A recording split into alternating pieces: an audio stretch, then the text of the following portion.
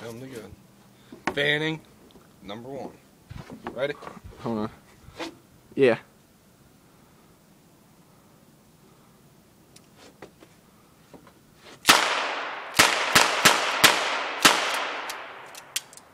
It isn't too accurate, is it? Yeah. I'll see what you can do when you aim.